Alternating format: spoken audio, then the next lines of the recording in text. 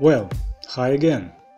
Today I've got much small stuff to review from AKK Technology Company. And instead of reviewing everything separately, I will do a group test.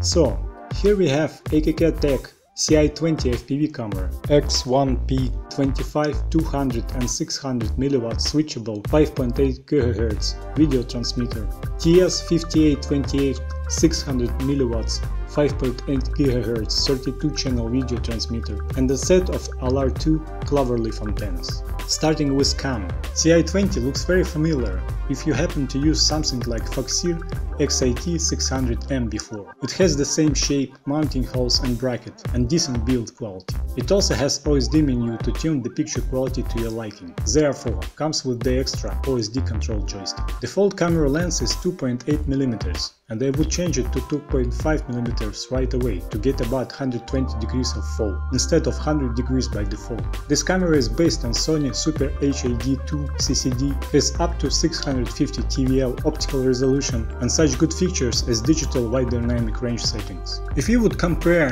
Foxeer XAT600 camera OSD and settings to AKK Tech CA20 camera, we would find that they are almost the same, as well as all the features are. But AKK Tech comes in a cheaper price, therefore is a better value for money.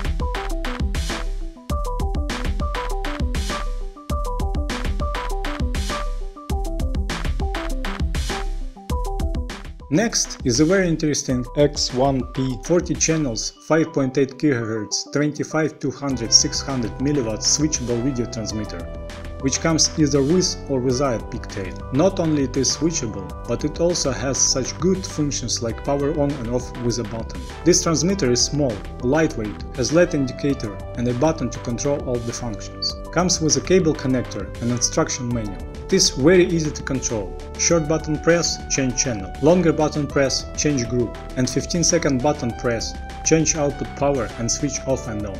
Next is TS5828 600 mW 5.8 GHz 32 channels video transmitter.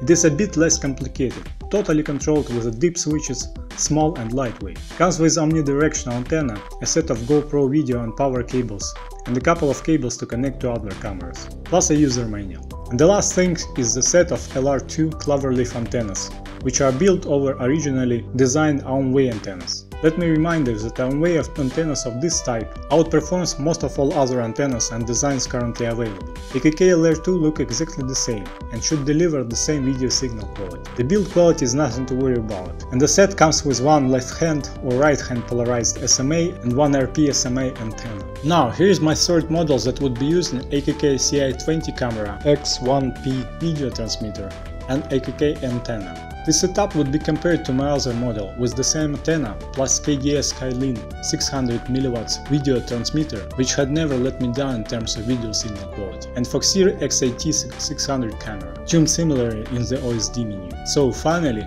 there would be three tests in this video. First, X1P video transmitter set to 200mW with AKK antenna.